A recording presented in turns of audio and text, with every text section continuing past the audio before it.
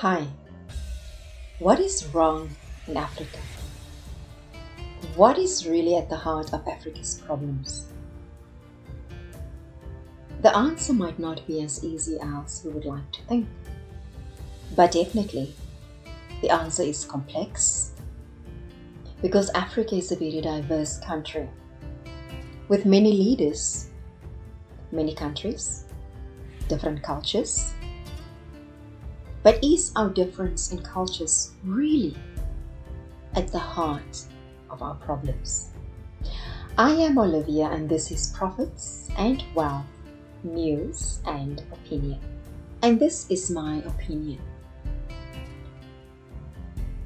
What is at the heart, part of our problem in Africa, is a lack of leadership. And you know how disheartening it is to see one man singing the praises of another man, another human being who just holds a title.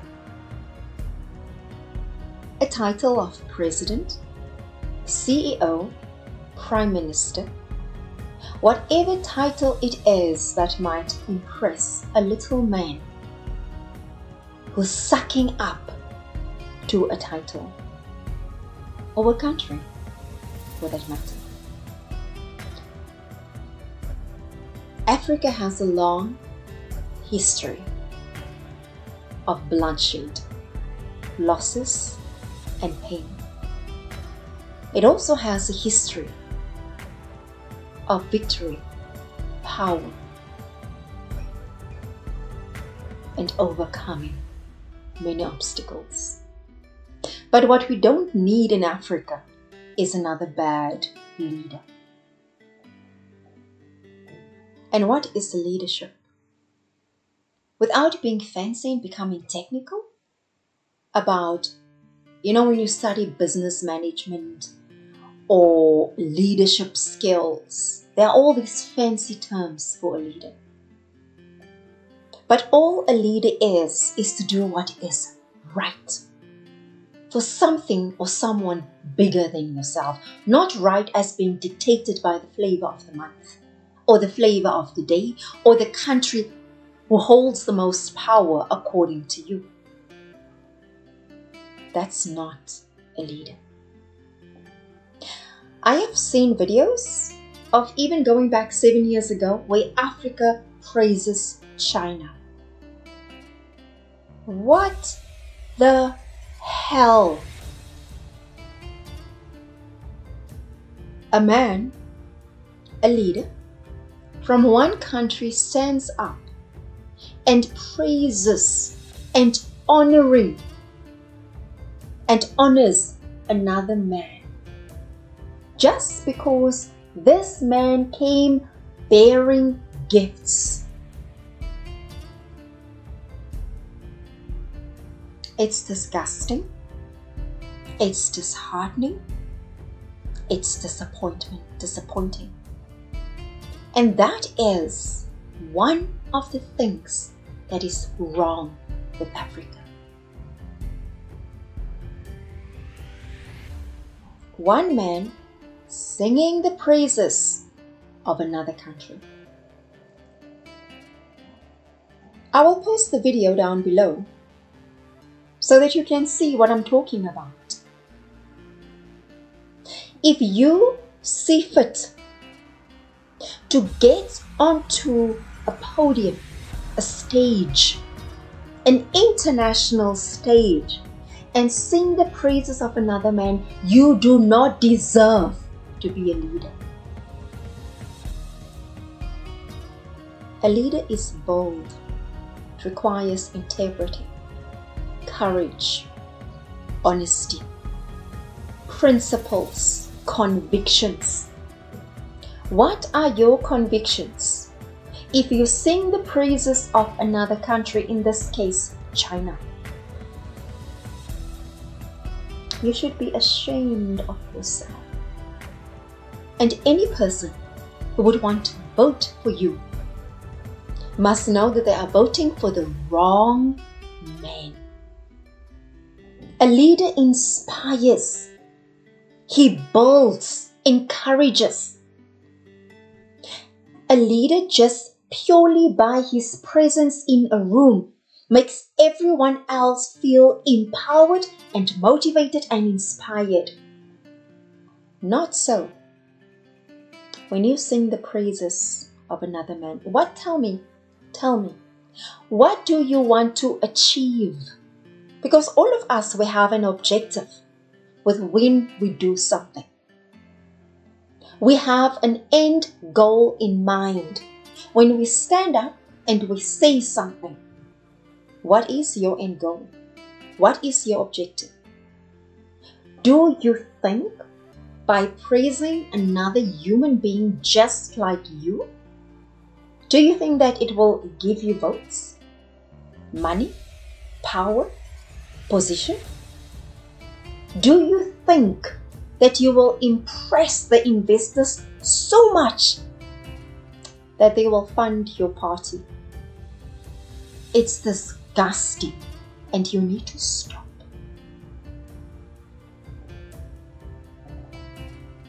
You know, this is why the rest of the world don't think anything of us and we need to say it.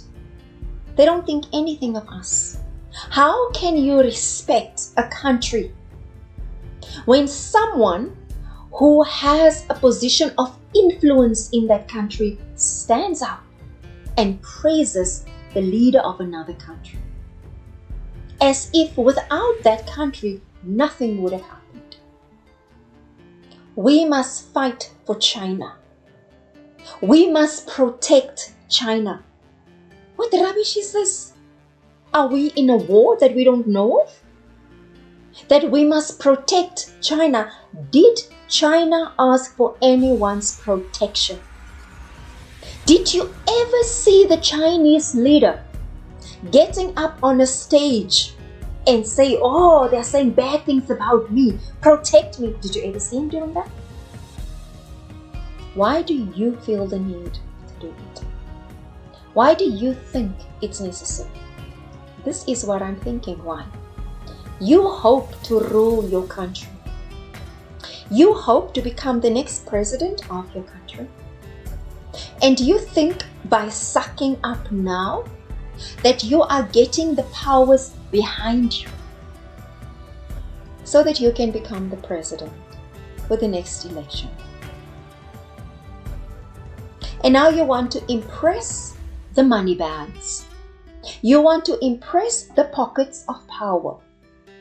I have listened to your videos and I cannot see a single one where you tell the world what you bring to the party. What is it that you offer? What is it that you do that will make a difference? How are you going to make the lives of your countrymen better? How are you going to improve conditions in your country? What are you going to do about job employment? Job creation? What are you going to do about it? Nothing. I didn't hear any of that. You see, and that is you represent everything that is wrong with our continent at the moment. Empty leaders, backpackers, butt kisses. We see it here in South Africa as well. Let's see which way the wind is blowing, and then I get onto a podium and I talk about that and I support it. We are devoid of leadership.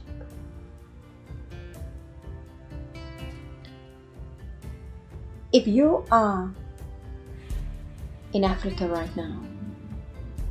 And you have a leader that you are proud of,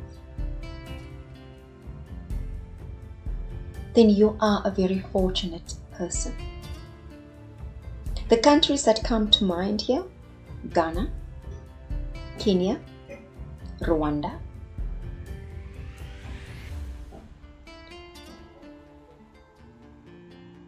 When I look at these countries, things are not perfect. They're not ideal.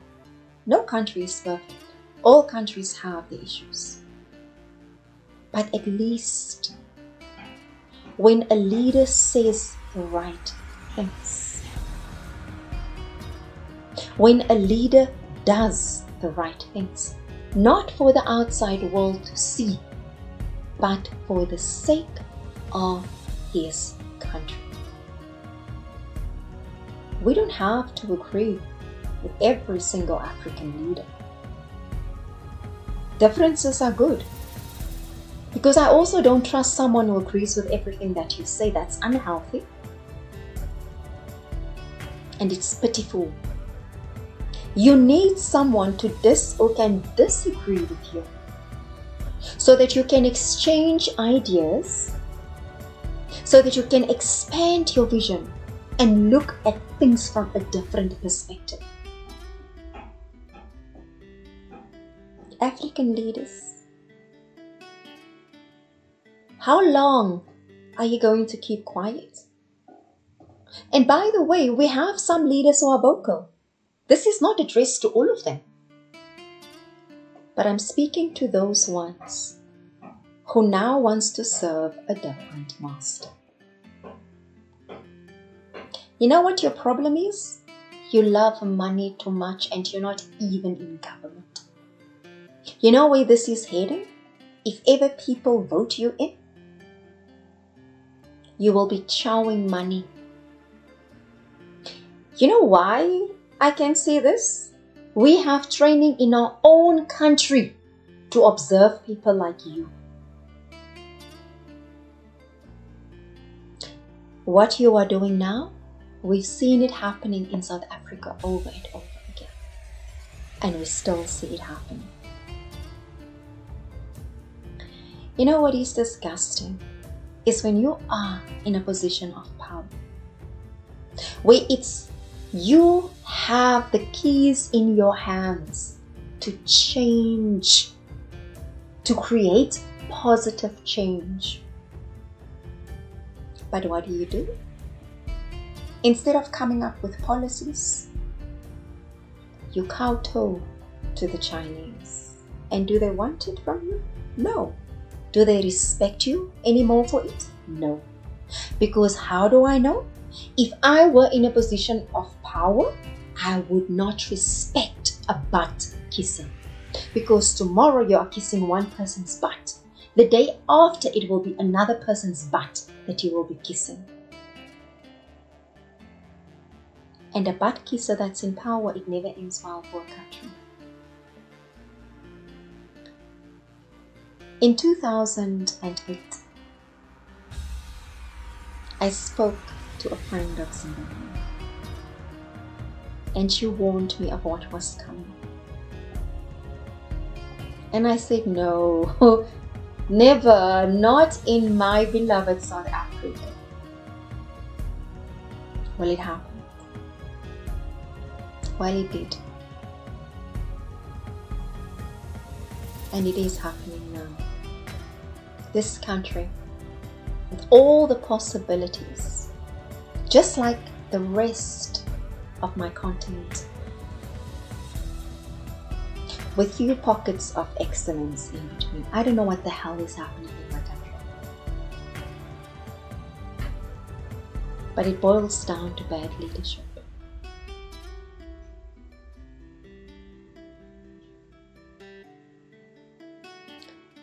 You know what a bad leader does? They ruin everything they touch. They break and destroy everything they touch. You know what bad leaders have done in Africa? Is create the perception that Africans cannot govern. That once you put a black man in charge, things will fall apart.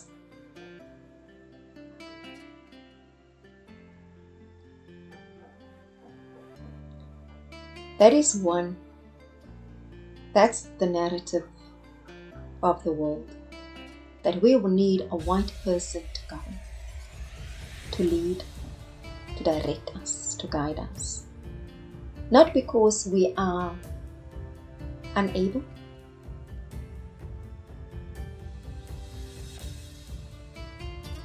or inept, or stupid, or dumb, or incompetent. No.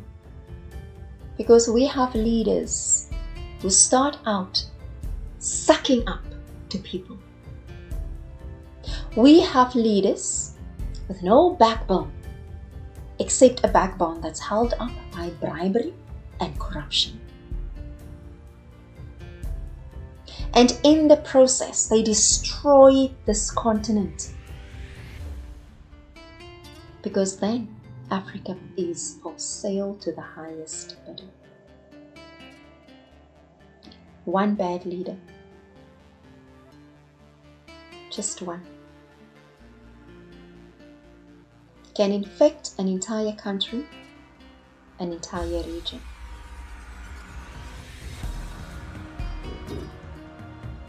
How can you, a grown, mature, healthy, thinking man, get up on a stage and sing the praises of another man? You know, that is a red light right there. And it's disgusting as well. You are not buying any favors. What you are buying is disrespect, disgust, and again the confirmation that you are not fit to be a leader. And I hope they never vote you in power.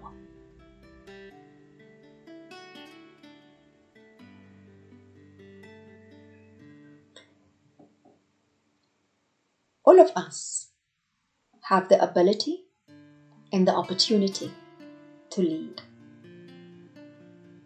But the question is when that opportunity comes, are you willing to lead?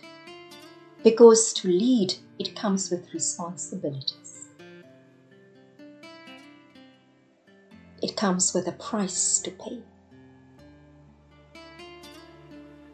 But you know what? When you do the right thing, not according to what has been dictated by you, but according to your own convictions and your own principles. You just sleep better at night. What kind of a leader will you be if you have nothing to offer?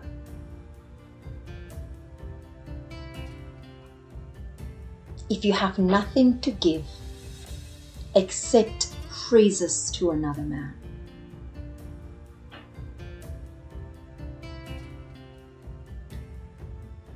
You know, Africans, the sensible African leaders are few and far in between.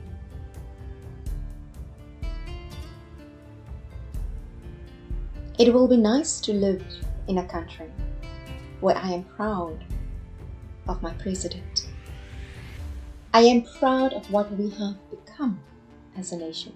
That would be beautiful.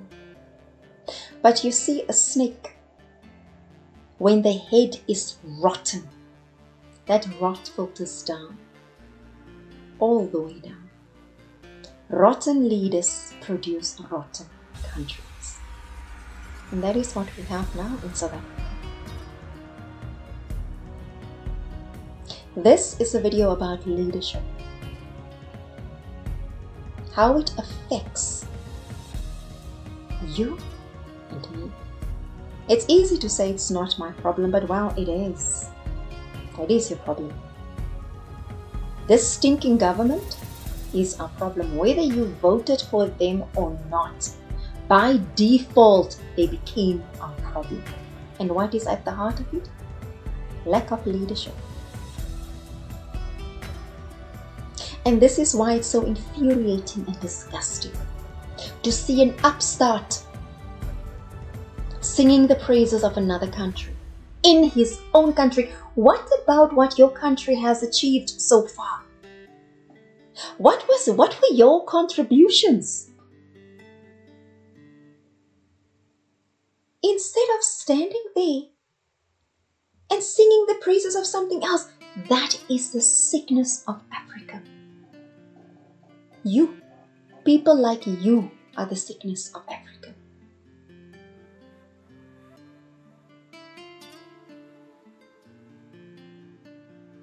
We need leaders.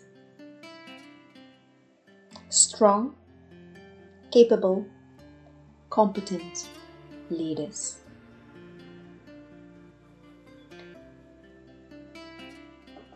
Not butt kisses,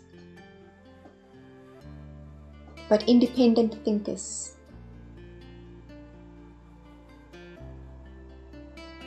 Who will voice their opinion whether it's popular or not.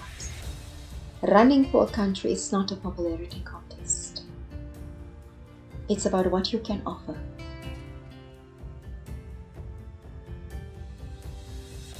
Talk about leadership.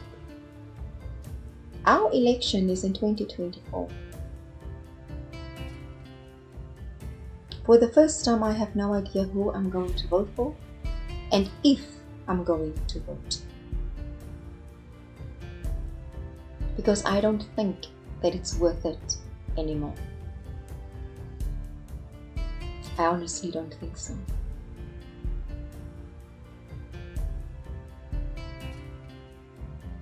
And it's interesting. Not too long ago, I was making radio programs encouraging people to vote. You know what? Think about, think back. After every election, what changed for you? What changed?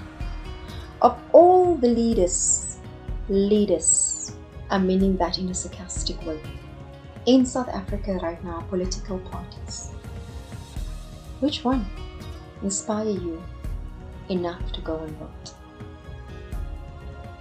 Which one? Because you see the problem. In South Africa, it's not unique to our country. This is the battle between countries. And we are caught in the middle. We are caught in a loop of bad leadership in South Africa. And if you think that looking towards a leader to come and save you is going to happen, it's not. You are on your own. You can pray to Jesus all you like. Jesus is not coming to save you.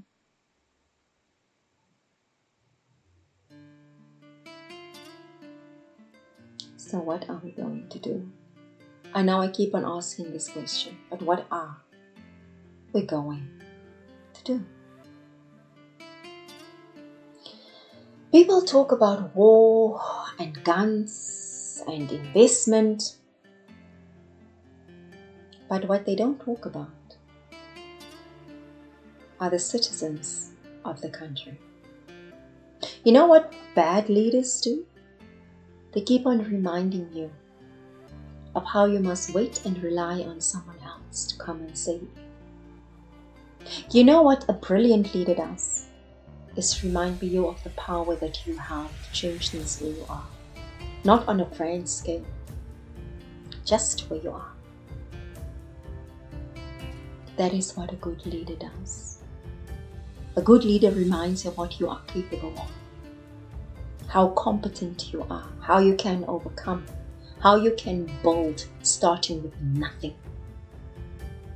We don't have that at the moment. Not of leader, not if an opposition leader sings the praises of another country. There's this interesting narrative between anti-Western, anti-Russia, anti-China, whatever you want to call this sentiment. It's all crap you ask. It's all nonsense. You know why? At the end of the day, the decisions will be made by people who are in government and who are in power right now. Whether you hate your neighbor for, for supporting Russia or China or America, it's irrelevant. You, we are the little people who do not fit into the bigger scope things. We are just the decoys to keep ourselves distracted and occupied. While the leaders are messing up things. We must ask about policies, implementation. How is this affecting our country? What are the conditions of certain trade agreements? Do we get this information? No, we don't. Oh, and by the way, uh, there's this that US is going to take all the trade out of the country. You know, stop with that rubbish narrative. Because there are American countries, American companies right now in South Africa who are providing jobs to hard working families. And do you think because of your sentiment and you being upset because America said South Africa sold guns to Russia? Do you think because of your in you are uh, indignant and so aggrieved and so upset? Do you think that American company who that invested millions of rands in their companies to be here is going to pack up and go because you feel upset because South Africa is being accused of selling guns to Russia. And we have a, a, a blustering leader who never says anything. Mr. Ramaphosa never says anything to anyone. And it's a, it's a frustration because we don't know what's going on in our own country because the communication from government is so bad and so poor. How did I come from someone sucking up in Zambia to China to our bad leadership in South Africa? It is linked because what connects them is this continent and the lack of leadership. The president of Zambia, Hakainde Hichilema, he had to contest so many elections because he believed in his country. He believed in Zambia and to rebuild it and to contribute it. He fought election after election until he won with a 59% majority. Do you, do you realize the price he had to pay to become the president of Zambia? Do you understand what it cost to fight so hard for a dream because you have a vision for your country? And then some Batkisa comes and say, I, I honor without China, this would not have happened. No, it would have, because we have all the resources. We have been so brainwashed that we need other countries to come and fix our things for us that now it's even jumping to the next generation. Which is pathetic and it's sad. We have so much to offer. We must stop waiting on other people to do what, for us, what needs to be done. You know what I hate the ANC the most for? There are many things and many reasons why I hate them. I hate them for what they have done to this country. I hate them for cementing the perception that Africans cannot do anything. I hate them for their corruption, for their inability to do the right thing. I hate them for covering up when lives were lost because of their corruption. We understand that you want to eat. We do. Because as Africans, we are very forgiving and we are tolerant. Even though we are being portrayed as savages and backwards because of people like you.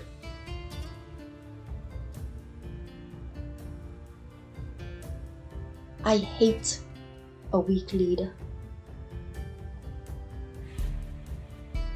for trampling on the hopes and the dreams of the country. I despise a leader who takes money in exchange for his country. I hate a leader who can stand by and see how his country is being torn apart little by little, piece by piece, and not say anything about it. I despise and hate a leader who want to justify any form of injustice.